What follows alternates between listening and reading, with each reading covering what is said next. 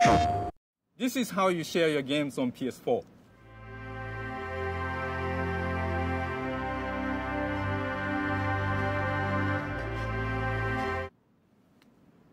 Thanks.